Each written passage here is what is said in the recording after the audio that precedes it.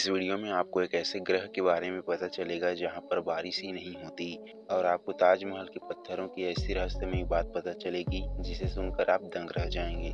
तो जानने के लिए वीडियो पर अंत तक बने रहिए। आप सभी को पता होगा कि हिरोशिमा और नागासाकी पर जो बम गिराया गया था, वो कितना खतरनाक था। आपको शायद ही पता होगा कि हिरोशिमा हमले के एक महीने बाद शहर में एक चक्रवात आया था, जिसकी वजह से 2000 लोग और मारे गए। क्या आपको पता है कि रात में एफिल टावर की फ़ोटो खींचना गैर कानूनी है। फ़ोटो खींचने के लिए वहाँ के संचालकों से इजाज़त लेनी पड़ती है। दोस्तों एफिल टावर में रोशनी के लिए बीस हज़ार बल्ब लगाए गए हैं। साल 2013 से हर दिन रात एक बजे यहाँ की लाइट्स बुझा दी जाती है ताकि बिजली की बचत हो सके। आपने देखा होगा कि इंसान की मृत्यु के बाद उसे जला दिया जाता है। क्या आप जानते हैं कि लाश को जलाने की परंपरा कब से शुरू हुई है? मैं आपको बता दूँ कि मृत व्यक्ति को जलाने की परंपरा साढ़े तीन लाख साल पुरानी है। दोस्तों, हिरन की आँखें बहुत बड़ी और देखने में बहुत सुंदर होती है, लेकिन इस तरह की आँखों की बनावट का नुकसान भी है। ये दोनों आँखों को एक स्थान पर केंद्रित नहीं कर सकते और इन्हें लाल और हरा रंग दिखाई नहीं देता। ये नीले रंग और पराबैंगनी किरणों को ही देख पाती हैं।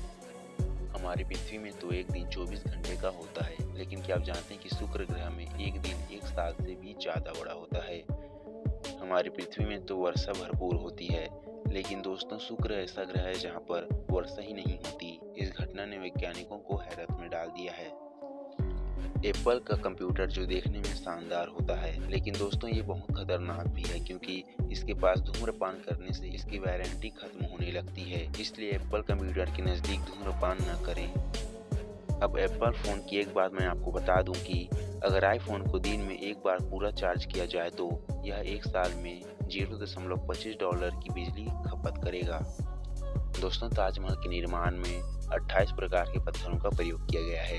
ये पत्थर बगदाद, अफ़गानिस्तान, इजिप्ट रसिया और ईरान से लाया गया था। इन पत्थरों का कमाल यह है कि ताजमहल सुबह गुलाबी, दिन में सफ़ेद और पूर्णिमा की रात को सुनहरा दिखाई देता है। तो दोस्तों, आज के इतने ही। आपको इनमें से कौन से फैक्ट अच्छे लगे मुझे कमेंट में ज़रूर बताइए